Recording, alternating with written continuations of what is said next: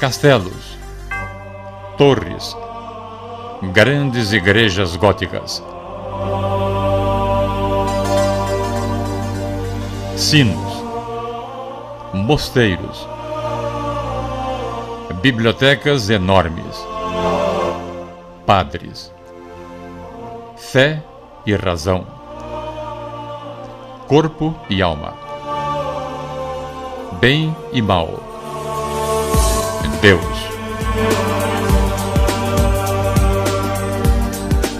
Estas são as palavras e os cenários da viagem que faremos a um tempo distante, mas que influenciou decisivamente a história da humanidade, a Idade Média e a filosofia medieval.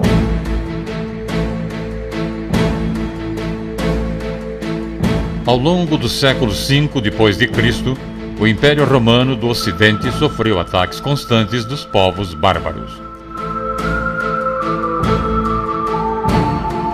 Do confronto desses povos invasores com os romanos, desenvolveu-se uma nova estruturação da vida social europeia, que corresponde à Idade Média.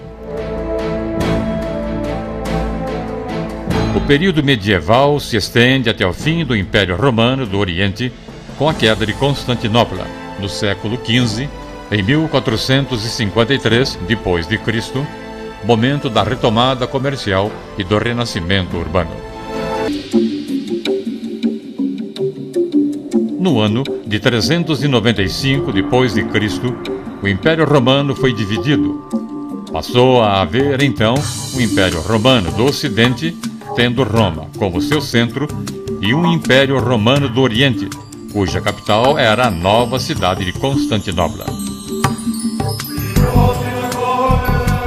Em 410, Roma foi pilhada por povos bárbaros e em 476 todo o Império Romano do Ocidente ruiu.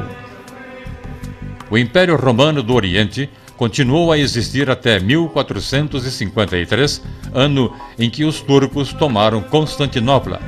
E desde então a cidade se chama Istambul, hoje capital da Turquia.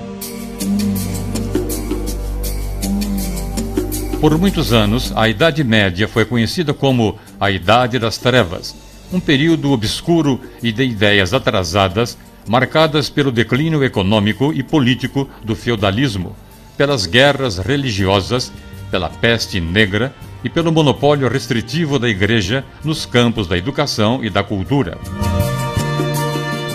Entretanto, a arte gótica, com suas catedrais, a poesia lírica dos trovadores e a obra de filósofos de grande originalidade mostram o quão errônea é esta imagem.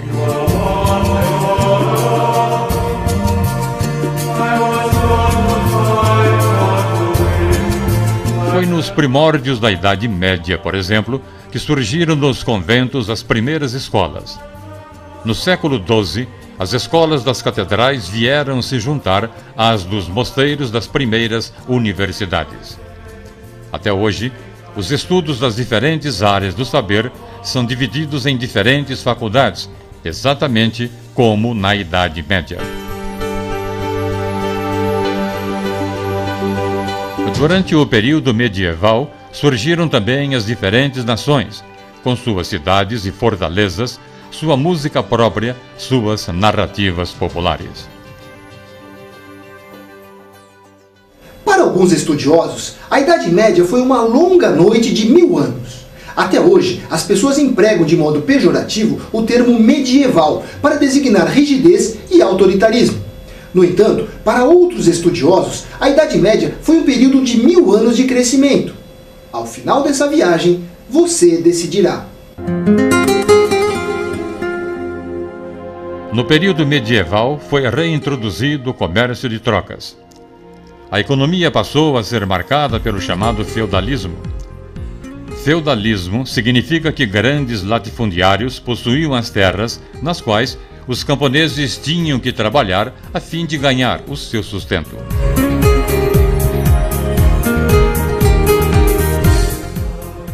A Idade Média é caracterizada por um retorno ao universo rural. A Igreja Católica, em meio ao esfacelamento do Império Romano, conseguiu manter-se como instituição social. Consolidou sua organização religiosa e difundiu o cristianismo, preservando também muitos elementos da cultura grega e romana.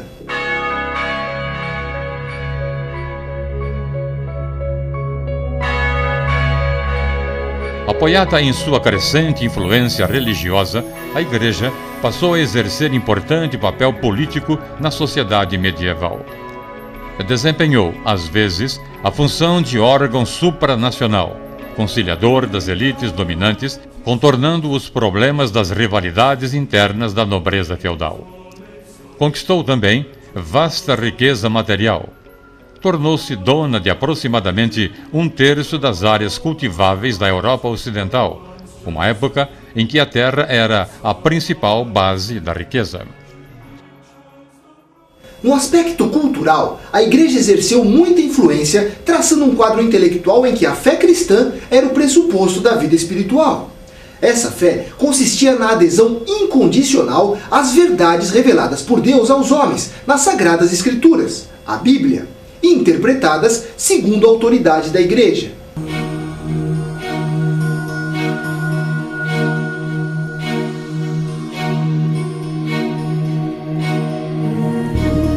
Consagração do cristianismo como religião oficial do Império Romano no ano de 380 d.C. marca o início de uma transformação profunda nas formas de pensar do mundo antigo. A teologia, a reflexão sobre Deus, torna-se rapidamente no saber supremo, teocentrismo, que todos os filósofos aspiram a alcançar. Esta é a razão por que a esmagadora maioria dos filósofos medievais eram teólogos. Tudo conduz a Deus. O mundo material surge como a manifestação da vontade divina. A própria política é formalmente submetida aos grandes princípios definidos pela religião. O indivíduo, ao mesmo tempo em que se afirma como único, é limitado na sua autonomia.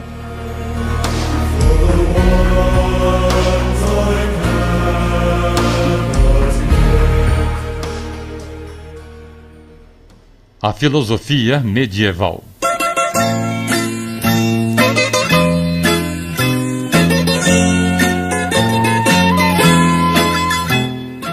Alguns religiosos desprezavam a filosofia grega, sobretudo porque viam nessa forma de pensamento uma porta aberta para o surgimento de doutrinas contrárias às estabelecidas pela Igreja, em termos de fé, as chamadas heresias.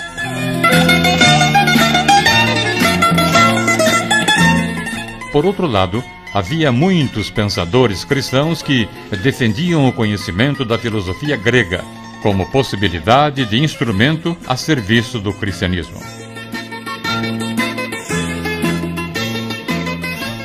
Conciliado com a fé cristã, o estudo da filosofia grega permitiria à Igreja enfrentar os descrentes e derrotar os hereges com as armas racionais da argumentação lógica.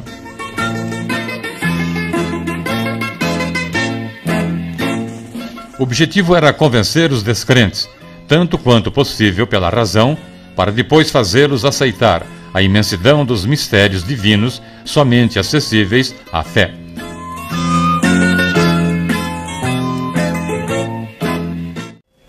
Pensadores afirmam que a filosofia medieval cristã seguiu o caminho que parte da religião bíblica para sua compreensão conceitual, da revelação para a teologia.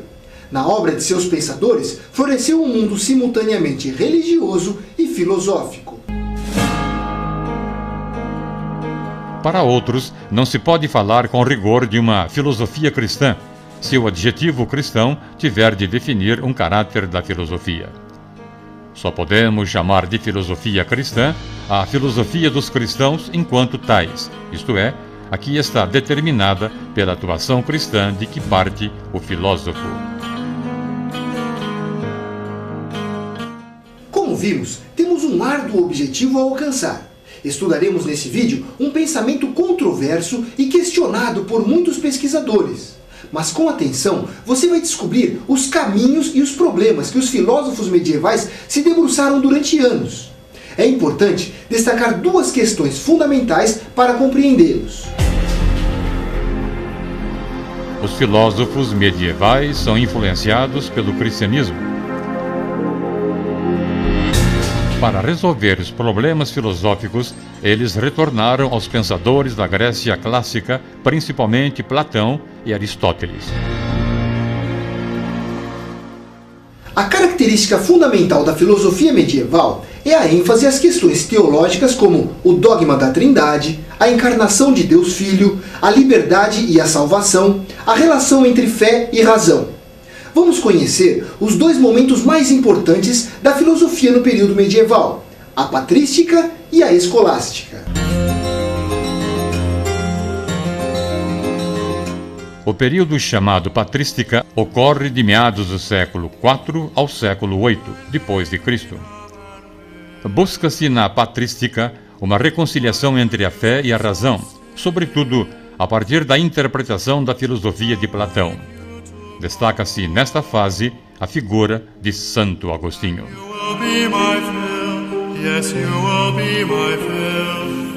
O período chamado escolástica ocorre do século IX ao XVI depois de Cristo. Busca-se na escolástica uma sistematização da filosofia cristã, sobretudo a partir da interpretação da filosofia de Aristóteles. Nesta fase, destaca-se a figura de Santo Tomás de Aquino. Vamos então analisar cada uma delas. A patrística. Com o desenvolvimento do cristianismo, tornou-se necessário explicar seus preceitos às autoridades romanas e ao povo em geral. A Igreja Católica sabia que esses preceitos não podiam ser impostos pela força, tinham que ser apresentados de modo convincente. Os primeiros padres se empenharam na elaboração de inúmeros textos sobre a fé e a revelação cristãs. O conjunto desses textos ficou conhecido como patrística, por terem sido escritos principalmente pelos grandes padres da Igreja. Em verdade, a patrística é o esforço cristão de incorporar a filosofia grega para servir-se dela na defesa contra os ataques que lhe dirigiam. Assim, os padres da igreja tentaram, em primeiro lugar, uma formulação intelectual dos dogmas, e em segundo, uma discussão racional com seus inimigos heréticos ou pagãos.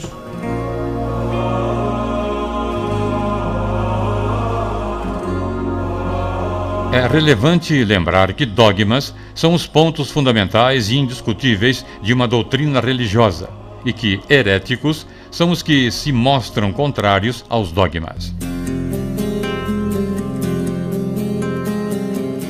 O projeto de conciliação entre o cristianismo e o pensamento grego teve como principal expoente o padre Agostinho, posteriormente consagrado santo pela Igreja.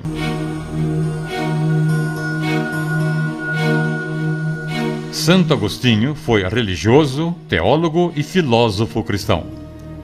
Ele sistematizou a doutrina cristã, influenciado pela filosofia de Platão.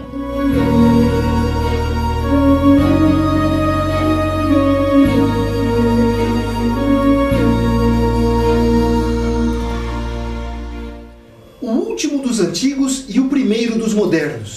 Santo Agostinho foi o primeiro filósofo a refletir sobre o sentido da história, mas tornou-se, acima de tudo, o arquiteto do projeto intelectual da Igreja Católica.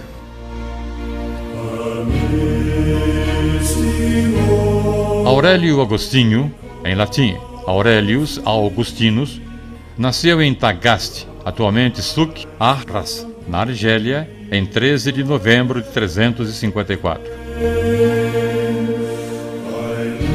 Era filho de Patrício, homem pagão e de posses, que no final da vida se converteu ao cristianismo, e da cristã Mônica, mais tarde considerada santa.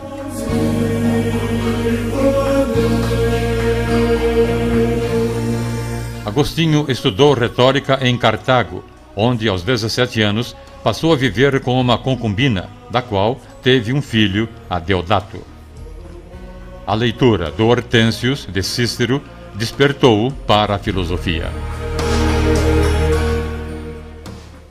Nessa época, Aurélio Agostinho aderiu ao maniqueísmo, doutrina de que logo se afastou. O maniqueísmo é uma doutrina persa que afirmava ser o universo dominado por dois grandes princípios opostos, o bem e o mal, mantendo uma luta incessante entre si.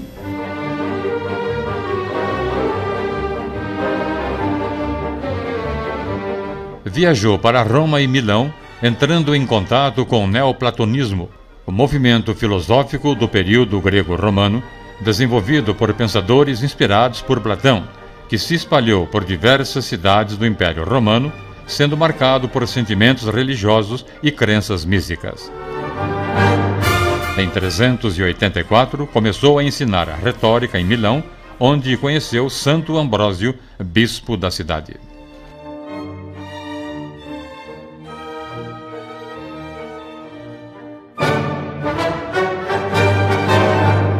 Cada vez mais interessado pelo cristianismo, Agostinho viveu longo conflito interior. Voltou-se para o estudo dos filósofos neoplatônicos, renunciou aos prazeres físicos e em 387 foi batizado por Santo Ambrósio, junto com seu filho Adeodato. Tomado pelos ideais cristãos, decidiu fundar um mosteiro em Tagaste, onde nascera. Nesta época, perdeu a mãe e, pouco depois, o filho. Ordenado padre em 391 em Hipona, pequeno porto do Mediterrâneo, também na atual Argélia, em 395 tornou-se bispo coadjutor, passando a titular com a morte do bispo diocesano Valério. Não tardou para que fundasse uma comunidade religiosa nas dependências da catedral.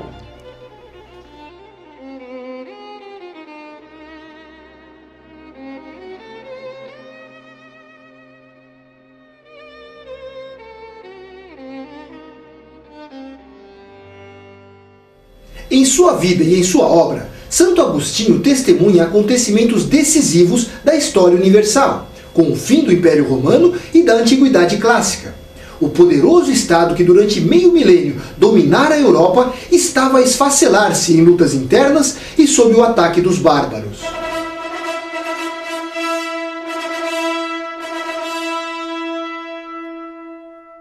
Em 410, Santo Agostinho viu a invasão de Roma e, pouco antes de morrer, presenciou o cerco de Hipona.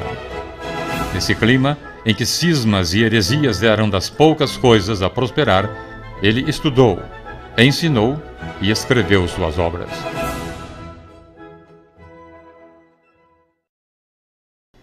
Pensamentos de Santo Agostinho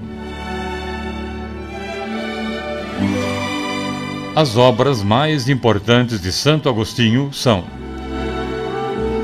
da Trindade, Sistematização da Teologia e Filosofia Cristãs, divulgada de 400 a 416 em 15 volumes.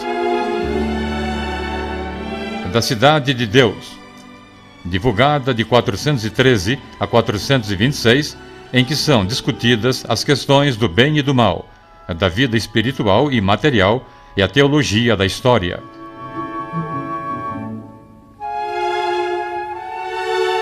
Confissões. Sua autobiografia, divulgada por volta do ano 400, e muitos trabalhos de polêmica contra as heresias de seu tempo, de catequese e de uso didático, além dos sermões e cartas em que interpreta minuciosamente passagens das Escrituras.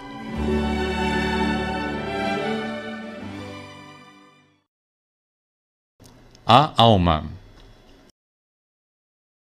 Agostinho defendeu a superioridade da alma humana, isto é, a supremacia do espírito sobre o corpo, a matéria. A alma teria sido criada por Deus para reinar sobre o corpo, para dirigi-lo à prática do bem. O homem pecador, entretanto, utilizando-se do livre-arbítrio, costuma inverter essa relação, fazendo o corpo assumir o governo da alma provoca com isso a submissão do espírito à matéria, equivalente à subordinação do eterno ao transitório. Mas a verdadeira liberdade estaria na harmonia das relações humanas com a vontade de Deus. Ser livre é servir a Deus, pois o prazer de pecar é a escravidão.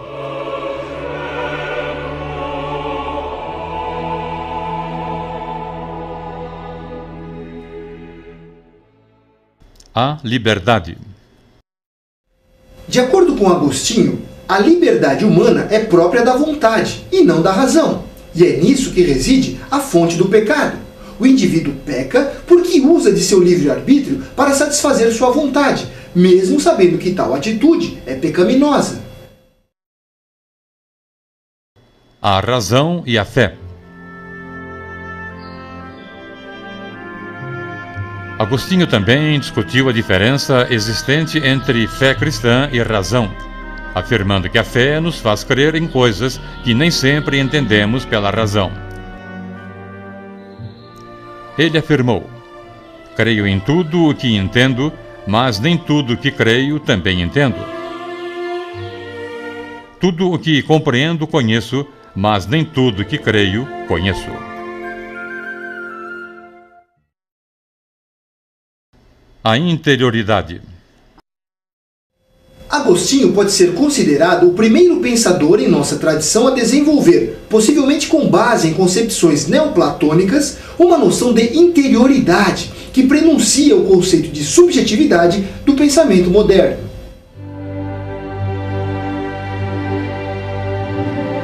Encontramos já em seu pensamento a oposição entre interior e exterior e a concepção de que a interioridade é o lugar da verdade. É olhando para a interioridade que o homem conhece a verdade. Por isso, no livro da Trindade, ele afirma: No homem interior habita a verdade.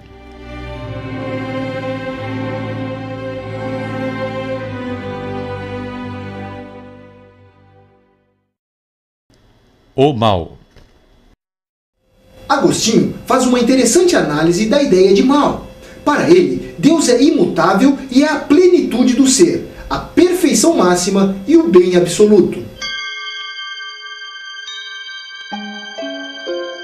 A natureza do mal deve, assim, ser encontrada no conceito absolutamente contrário ao conceito de Deus como ser, ou seja, o não ser.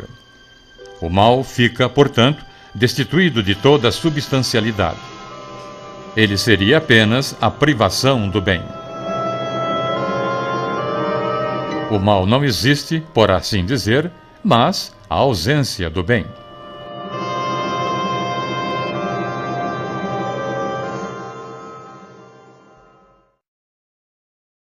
A Cidade de Deus.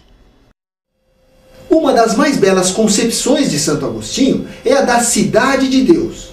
Amando-se uns aos outros no amor a Deus, os cristãos, embora vivam nas cidades temporais, constituem os habitantes da eterna cidade de Deus.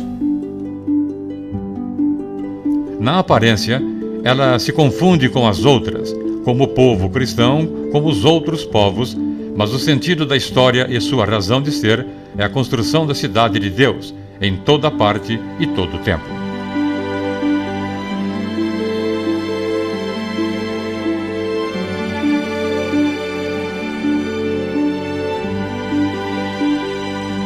A obra de Santo Agostinho, em si mesma imensa e de extraordinária riqueza, antecipa, além disso, o cartesianismo e a filosofia da existência, funda a filosofia da história e domina todo o pensamento ocidental até o século XIII, quando dá lugar ao tomismo e à influência aristotélica.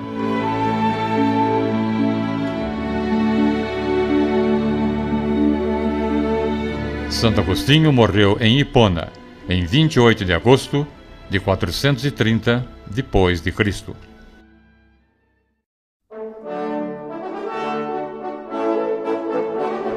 A escolástica.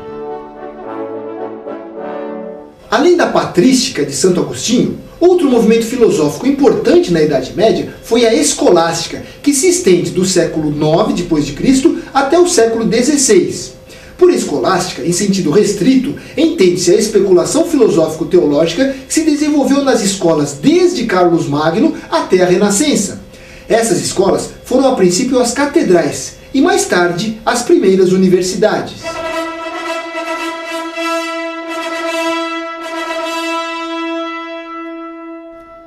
No século VIII, Carlos Magno, imperador do Sacro Império Romano, organizou o ensino e fundou escolas ligadas às instituições católicas. Com isso, todo o saber guardado nas bibliotecas dos mosteiros passou a ser divulgado. Nessas escolas ensinava-se gramática, retórica, dialética, geometria, aritmética, astronomia e música.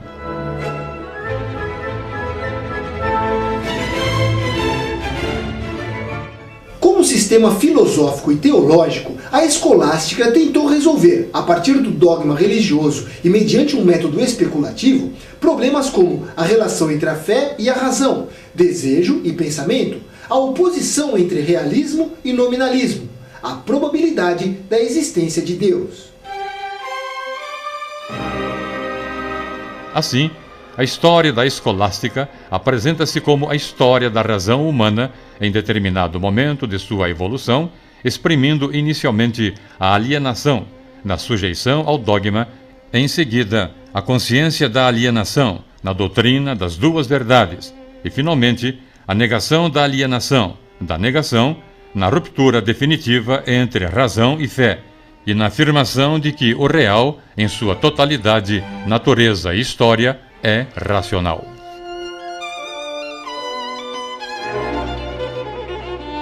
Portanto, temos três fases que caracterizam a escolástica.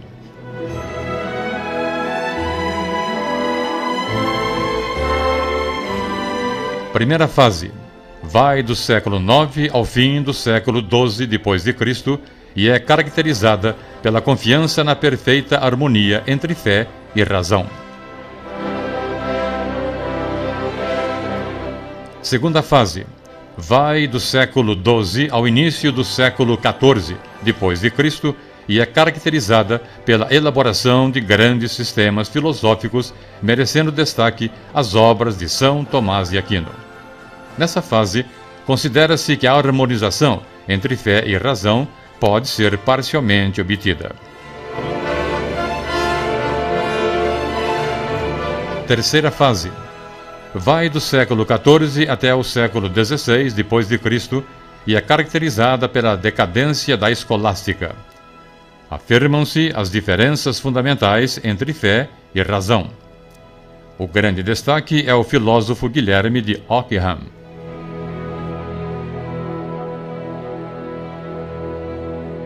Vamos analisar um pouco da vida deste que foi o expoente máximo da escolástica. Tomás de Aquino. Dentre os filósofos da escolástica, Tomás de Aquino é considerado o maior deles.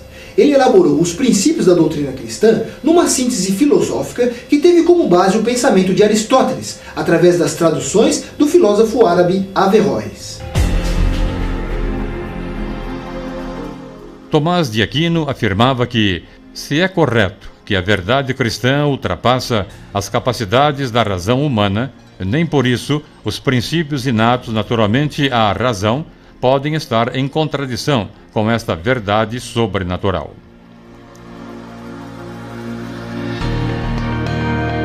Tomás de Aquino nasceu em Nápoles, sul da Itália, em 1226 e faleceu aos 49 anos de idade num convento em 1274. Ele foi religioso. Em verdade, Aquino reviveu em grande parte o pensamento do filósofo grego Aristóteles, com o objetivo de nele buscar os elementos racionais que explicassem os princípios da fé cristã. Mas ele fez uma síntese original da obra aristotélica. Em seu livro mais famoso, A Suma Teológica, ele busca cinco provas para a existência de Deus. Para Aristóteles, tudo que se move é movido por outro ser. Por sua vez, esse outro ser, para que se mova, necessita também que seja movido por outro ser, e assim sucessivamente. Se não houvesse um primeiro ser movente, cairíamos num processo indefinido. Logo, conclui Aquino, é necessário chegar a um primeiro ser movente que não seja movido por nenhum outro. Esse ser é Deus.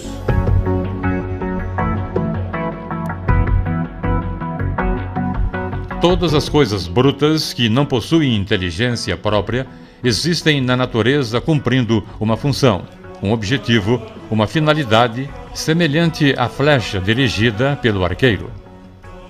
Devemos admitir então que existe um ser inteligente que dirige todas as coisas da natureza para que cumpram seu objetivo. Segundo afirmava Aquino, este ser é Deus.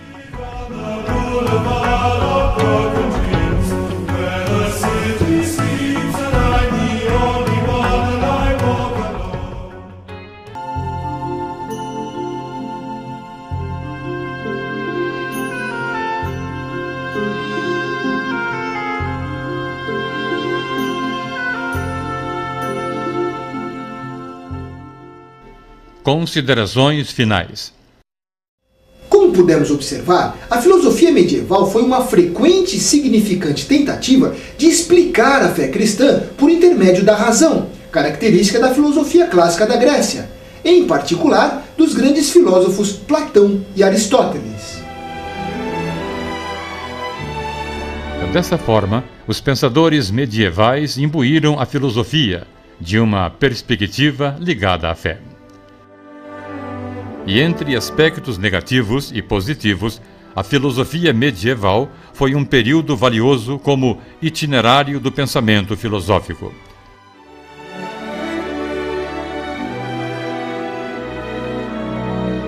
O questionamento de seus pensadores, como Ockham, abriu as portas para outro tempo, em que não mais Deus estava no centro das discussões, mas sim o homem e a ciência.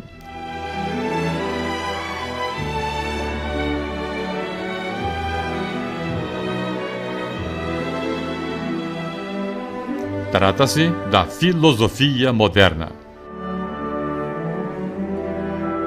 E é a filosofia moderna o que veremos no próximo volume.